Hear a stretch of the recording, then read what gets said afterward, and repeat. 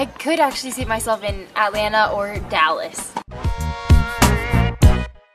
Starships by Nicki Minaj. I have a sneaky side that people might not know.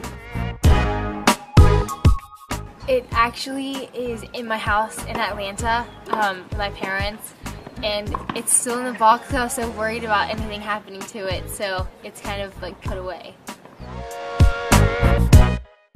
Yes, we definitely share some stories. Um, she tells me about how it is being on the team there, and I actually went and practiced with the team uh, before. It's very different than being on the tour. It's really, really different, but it's definitely fun. They have a lot of a lot of good times together, and they definitely um, mesh well as a team. So I thought it was really cool going there.